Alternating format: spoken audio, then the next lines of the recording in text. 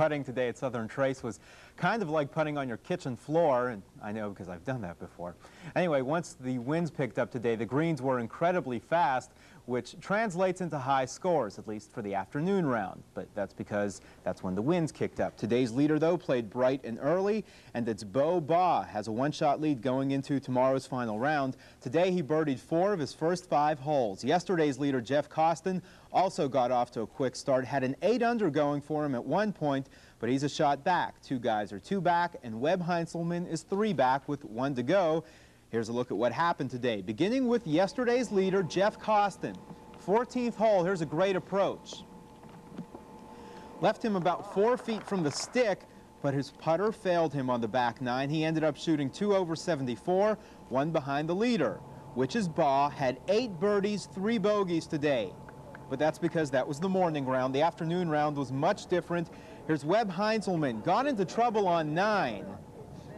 Went from trees to rough, he did end up shooting one under today, and he's three back. Like I said, it's a challenging golf course, and you go through that backside. Uh, any hole in that backside can grab you, you know, and uh, kind of happened to me a little bit today. I kind of had an up and down day. I thought I was going to, you know, run with the, take the money and run there for a while. I had it to eight under and uh, was feeling good. And then uh, the greens, like I said yesterday, I was getting some shin splints walking on the greens a little bit.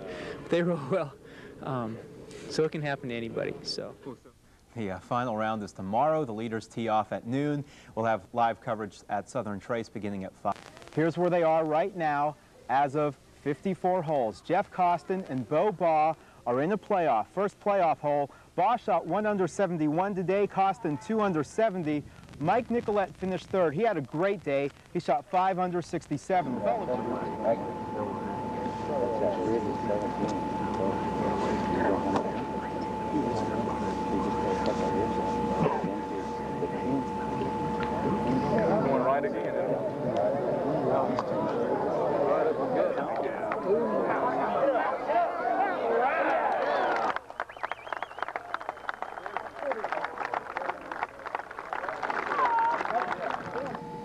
the